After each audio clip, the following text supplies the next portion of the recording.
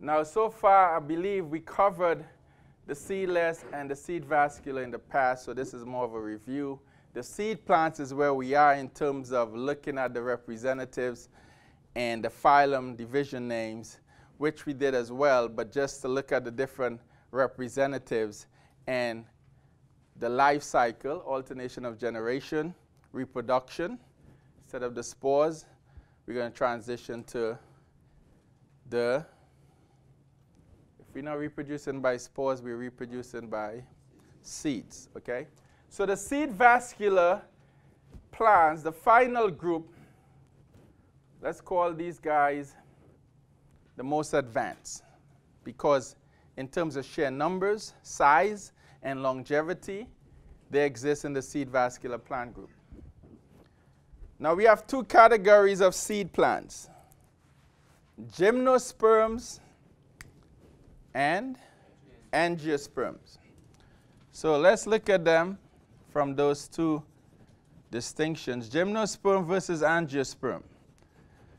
Now the gymnosperm has four divisions, four phyla that we'll look at, with one of them being a representative, and the angiosperm, one phylum that we'll look at, but in terms of numbers, obviously the angiosperms outnumber all the other plant groups. We'll look at those numbers in a, in a few minutes.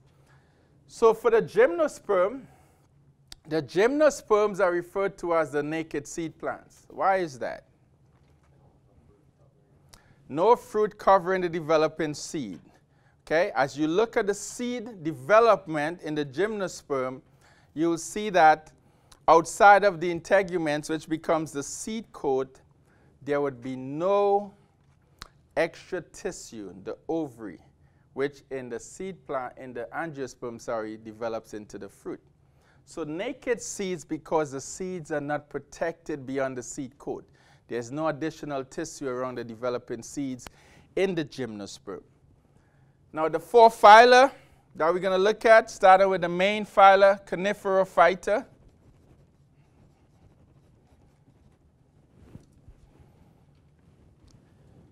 And what's the other three? Ginkgophyta.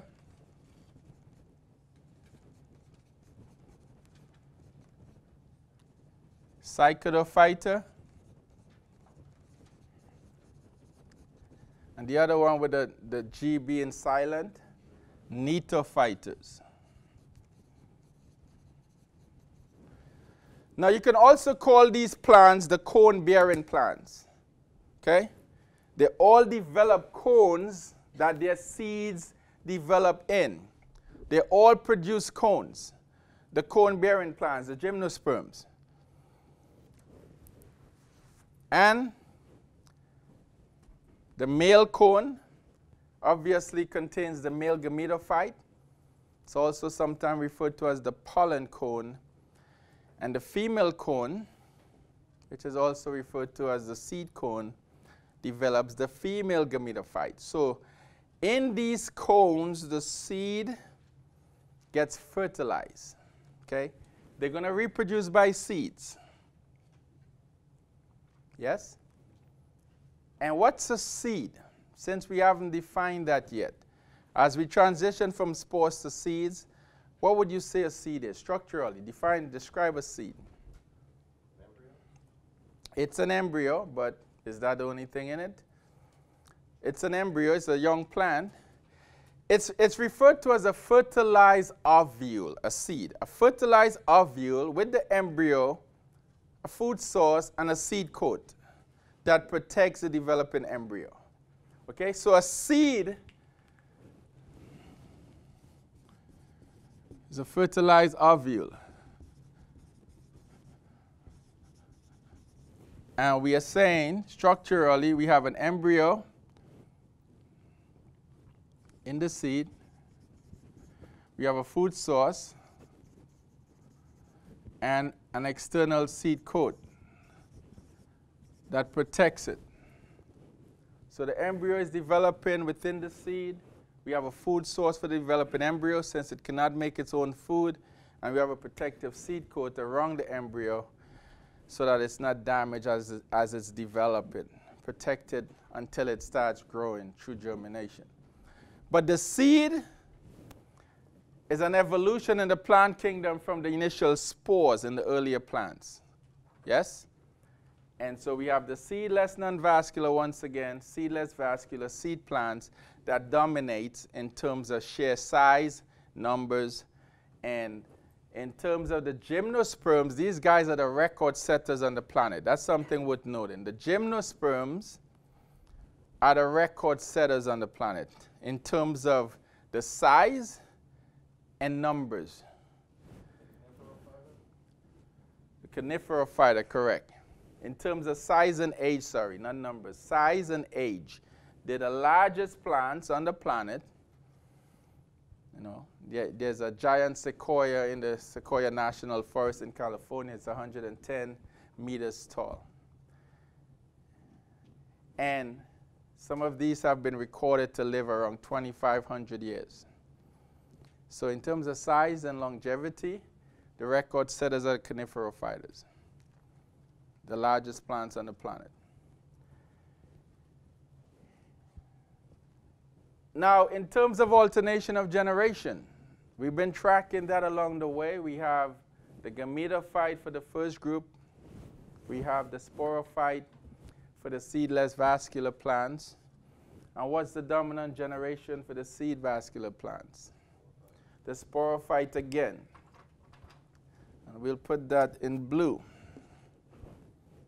All right, let's try another color.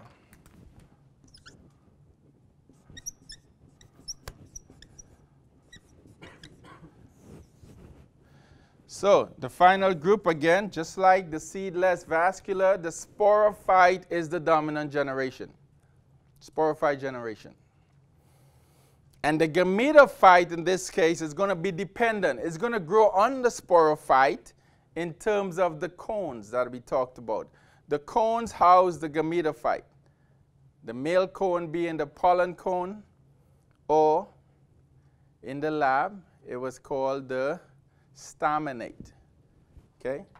So again, just terminology that we need to be aware of. The male cones are called staminate or pollen cone. Okay? The males.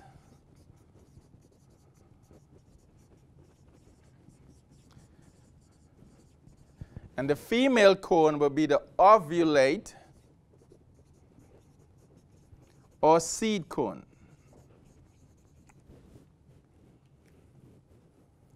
Okay? And these cones contain the gametophytes that is now dependent on the sporophyte. It's growing out of the sporophyte. As they alternate generations still, the gametophyte generation has become much reduced in the more advanced plants. Now the final group, the angiosperm, phylum, phylum name? Anthophyta.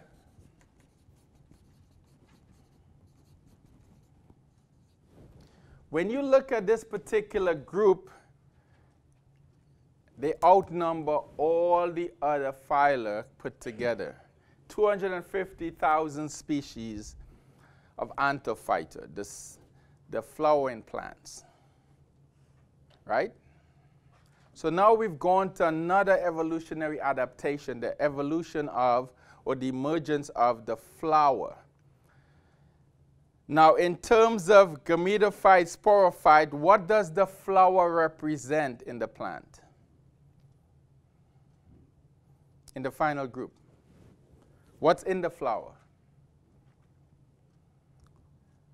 So the flower represents the gametophyte.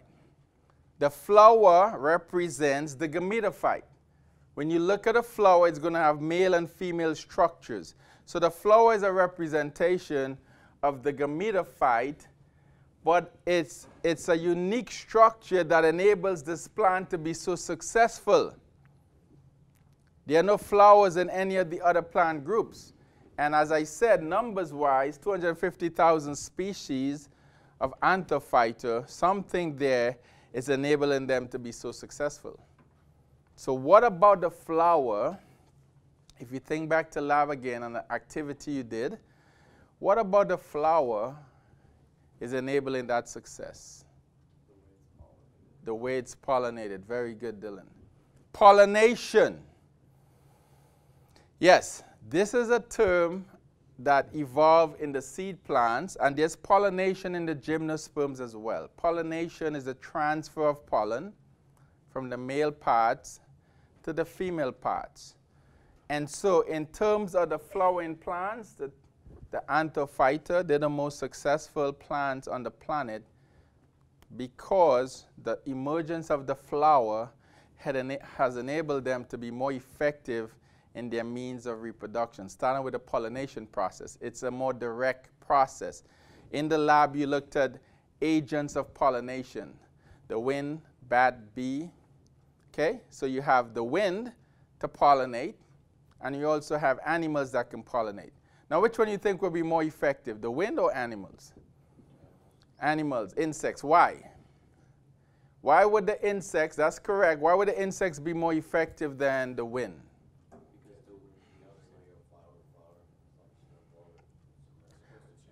Right, so the wind is on, based on chance. It has to get there somehow and stick. Whereas with the insects, there's a direct connection. It goes from one flower to the next, and it directly takes the, the pollen there, and more of a direct transfer of pollen. Therefore, more of a direct transfer or chance of fertilization. So let's end with that. The two processes that you need to be fully aware of is pollination versus fertilization. And it gets confused many, many times. So define pollination. What's pollination? I just said it. The transfer of pollen. Pollination is just simply the process of the transfer of pollen from the male parts of the flower, the pollen grains, to the female parts of the flower. And a direct transfer is pollination fertilization as opposed to pollination is what? What's fertilization?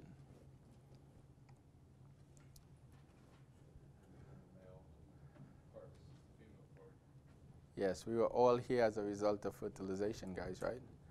The transfer or the fusion of the sperm with the egg.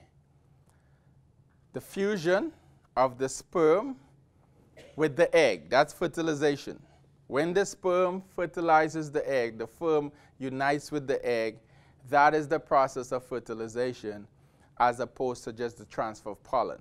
So the transfer of pollen has to take place first in the plants, followed by the sperm fertilizing the egg. And so in the flowering plants, guys, it is the most successful plants in terms of numbers. They're more flowering plants on the planet than any of the other plants because of this pollination, fertilization, and then the protection of the seed in the form of a, a, a, an, an additional tissue, which is known as the fruit. And so the seed is a fertilized ovule. And so what do you think we can define a fruit as?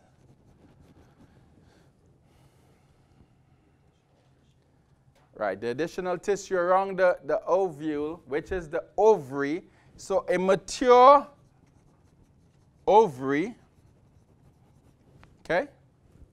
A mature ovary is what really develops into the fruit. After the, the seed gets fertilized in the ovule, the tissue surrounding the seed, the ovary, develops as a protection for the developing seed and hence it's enclosed as opposed to the gymnosperms, which were naked seeds. And so pollination, fertilization, development of the fruit, all means of allowing these plants to be the most successful on the planet in terms of numbers.